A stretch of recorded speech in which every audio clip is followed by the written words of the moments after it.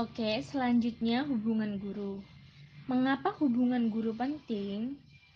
Nih, karena guru dengan siswa di dalam proses belajar mengajar merupakan faktor yang sangat menentukan keberhasilan proses pembelajaran.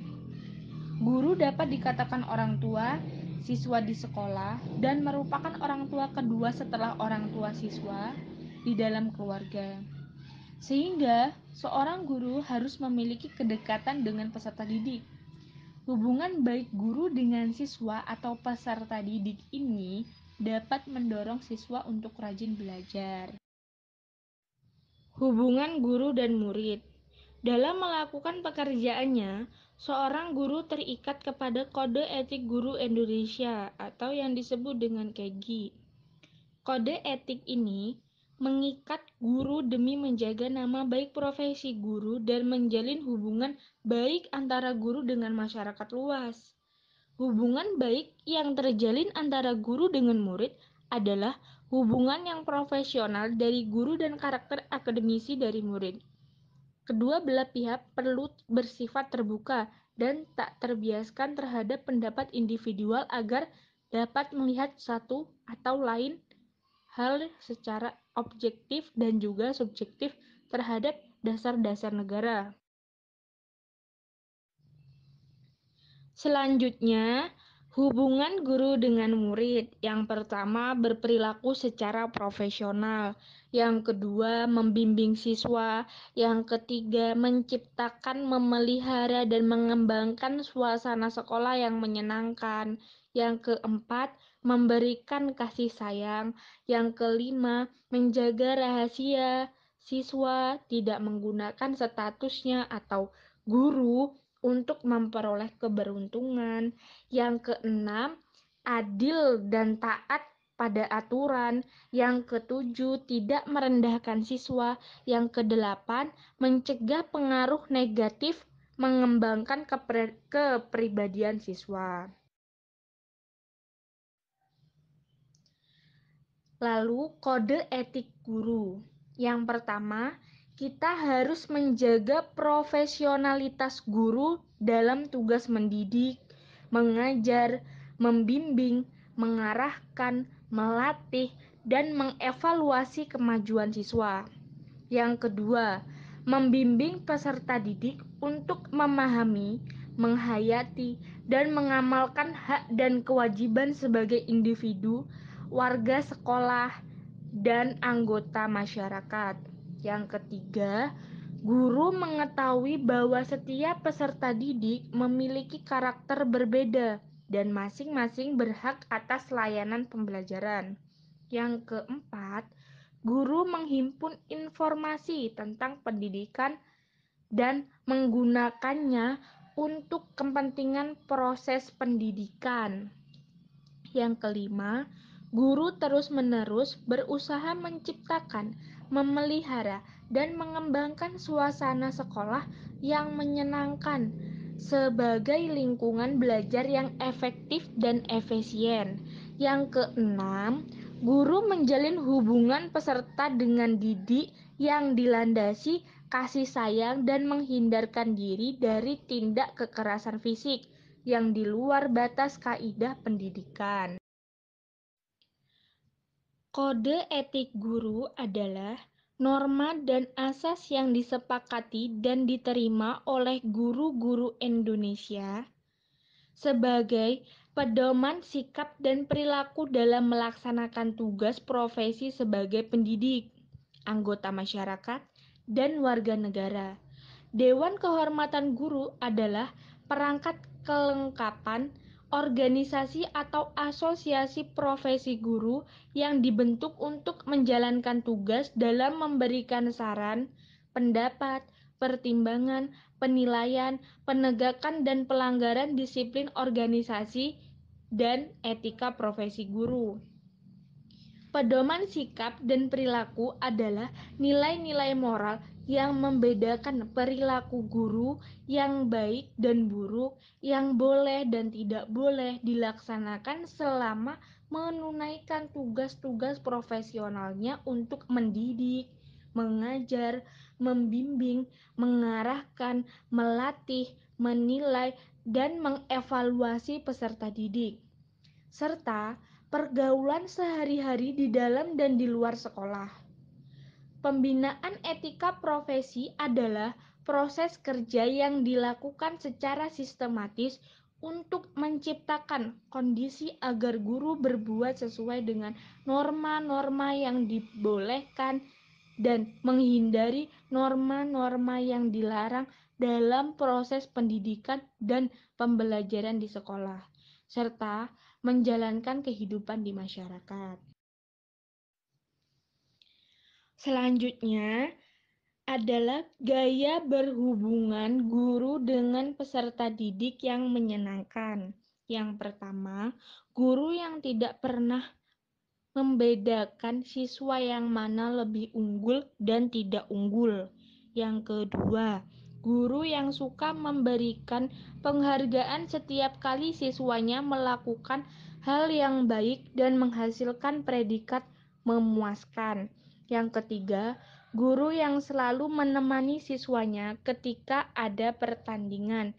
Yang keempat, guru yang selalu memadukan permainan di sela-sela mengajar. Nasution membedakan peran guru dalam dua situasi.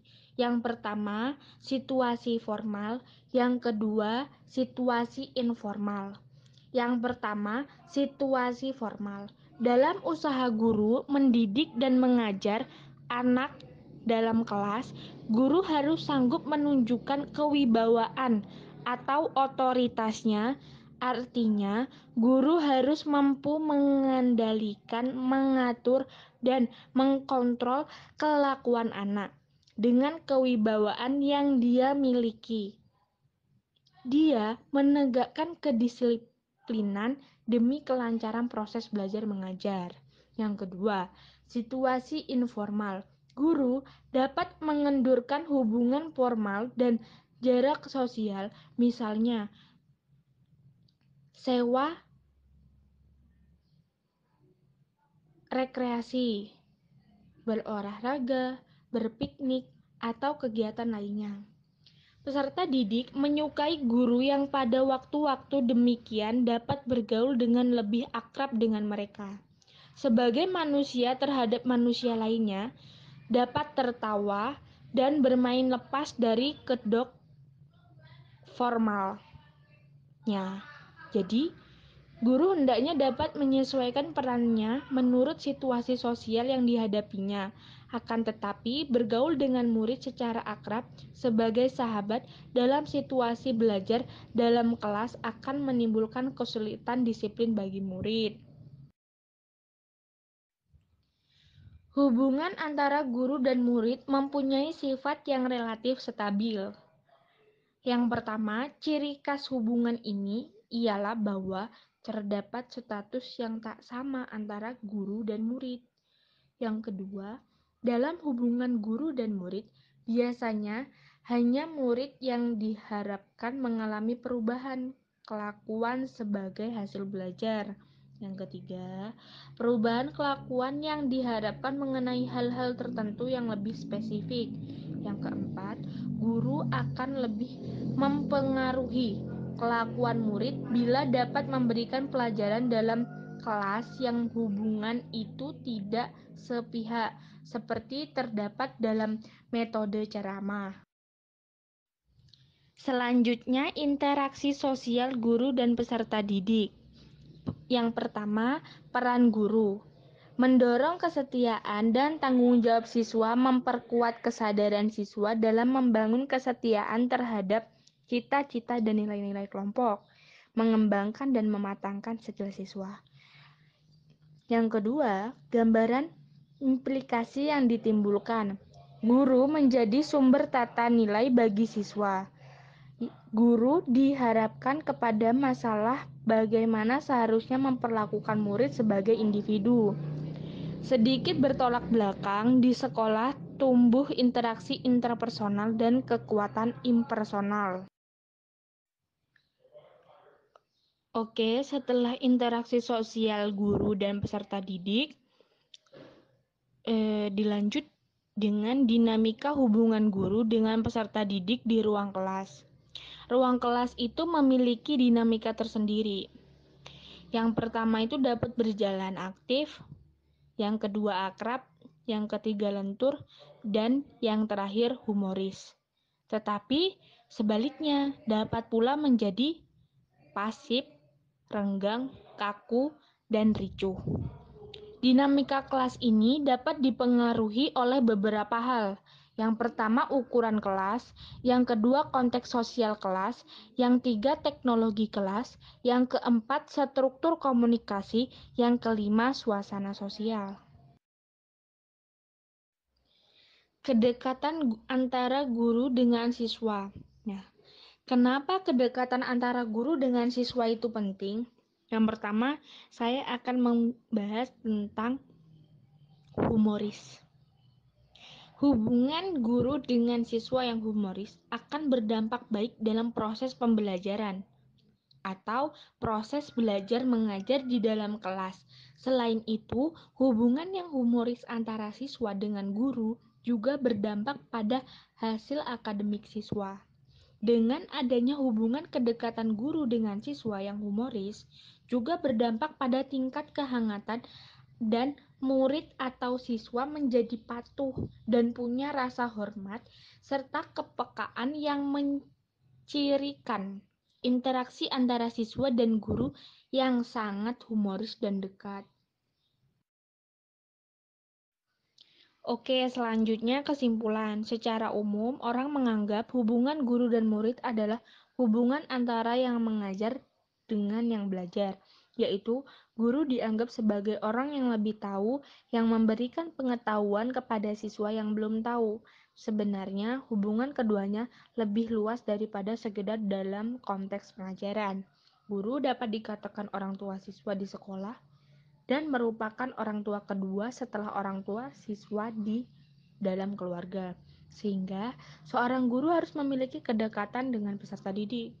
Kode etik guru adalah norma dan asas yang disepakati dan diterima oleh guru-guru Indonesia sebagai pedoman sikap dan perilaku dalam melaksanakannya tugas profesi sebagai pendidik, anggota masyarakat, dan warga negara.